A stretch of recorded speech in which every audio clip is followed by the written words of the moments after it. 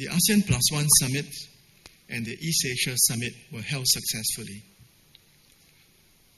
There was a frank discussion of the South China Sea, and the leaders in Phnom Penh reaffirmed the importance of dealing with the South China Sea disputes peacefully and in accordance with international law and the UN Convention on the Law of the Sea, whose 30th uh, birthday we celebrate next month. In addition, in addition, something new happened.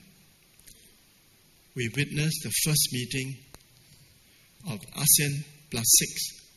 The leaders of ASEAN plus those of the following six partner countries China, Japan, South Korea, India, Australia, and New Zealand met and they launched a new negotiations to conclude a free trade agreement to be called the Regional Comprehensive Economic Partnership, RCEP, which in the ASEAN family we pronounce as RCEP. The 16 economies of this grouping make up one third of total world GDP. So if we succeed in achieving RCEP, this will be a very considerable free trade area.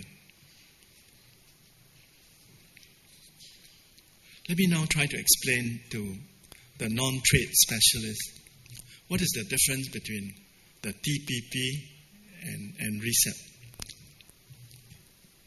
Um, I think all of you know that there is an institution called APEC, right? Can, any, anybody never heard of APEC? Please put up your hand. Good. You see, the advantage of reading the Straits Times is that you're well informed. so we have a, um, we have an institution called APEC, which whose headquarters is here in Singapore, in, in Heng Mui Keng Terrace. APEC is a unique institution. It is not institution of uh, states, but of economies. And two entities which are not states, Hong Kong and Taiwan, are members of APEC. There are 21 economies in APEC. When APEC leaders met, maybe 20 years ago in Bogor, Indonesia, they announced that their collective vision is to achieve free trade in the Pacific. And this collective vision will be eventually embodied in a form of a trade agreement called FTAAP, Free Trade Agreement of the Asia Pacific when you are dealing with 21 quite diverse economies, it will be very difficult to negotiate the FTAAP in one go around a huge negotiating table. So, four small economies Brunei, Chile, New Zealand, and Singapore started something called TPP. We decided to negotiate and adopt a free trade agreement linking these four economies. But this template is open ended. Anybody can join us. And over time, uh, from four, it is now 11.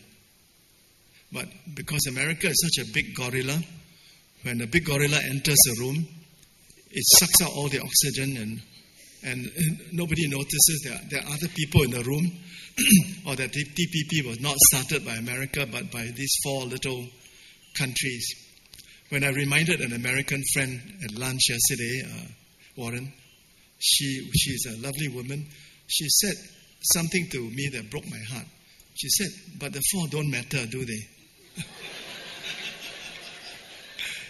so this is the American mindset, you know. You, so I said, "Well, to the four of us, we do matter."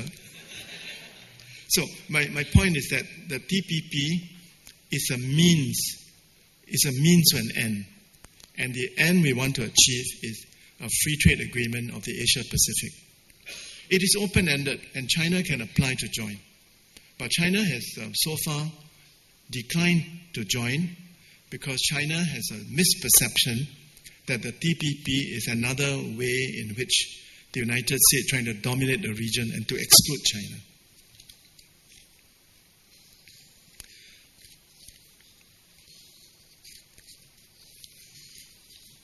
And we have just launched a new negotiation for another major trade agreement, RCEP. So the question I want to ask is which is easier to negotiate? The TPP, which will eventually lead to FTAAP or RCEP reset, which is easier to negotiate. Theoretically, it should be easier to negotiate RCEP. Why? Because ASEAN already have FTAs with each of the six partner countries. We have FTAs with China, with Japan, with uh, South Korea, with Australia, New Zealand, with India. So, in theory, it will be easier to, to negotiate this FTA with 16 countries. But as, as the Americans say, the devil is always in the details.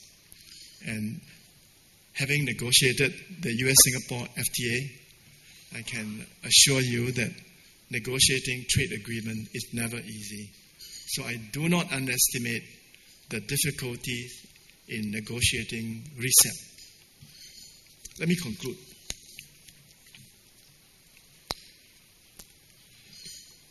I believe that under the leadership of Barack Obama and Xi Jinping, the US and China will live at peace with each other. I believe that China and Japan will not escalate the dispute over Senkaku Diaoyu into a full scale conflict. I believe that the European integration will not fail and that the Eurozone will survive and become even stronger.